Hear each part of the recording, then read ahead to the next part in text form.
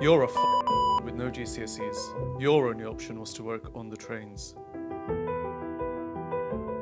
Take the passwords off your intern and bring the grown-ups back into the room. You're useless. You're a moron. You're a big, fat, nasty. Reading that makes me feel pretty worthless. Plenty of people could do the job better than you. You're an embarrassment to your family. I hope you rot in hell. You're a stupid. Have a nice day playing social media.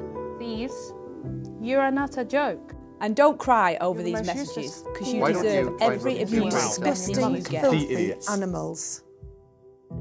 Anyone with half a brain would correct what job you're doing. Reading that makes me feel pretty pointless. Um, makes me feel quite intimidated. We understand sometimes things can go wrong, but please remember that we are here to help.